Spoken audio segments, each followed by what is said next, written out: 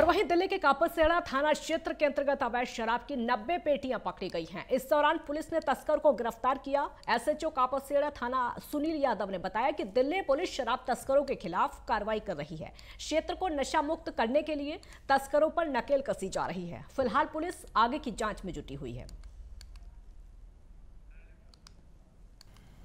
शराब तस्कर को गिरफ़्तार किया गया है दिल्ली में। और साथ ही शराब की 90 पेटियाँ पकड़ी गई हैं। पुलिस को बड़ी सफलता मिली है। बड़ी सफलता के तौर पर इसको देखा जा रहा है। देखिए, जो 90 पेटियाँ शराब की मिली हैं, वो भी आपको तस्वीरों में इस समय दिखा रहे हैं। शराब तस्कर की गिरफ्तारी हुई है। उस तस्कर को आप देख सकते हैं और नब्बे पेटियाँ शराब की पकड़ी गई हैं। वो पेटियाँ भी आप देख सकते हैं।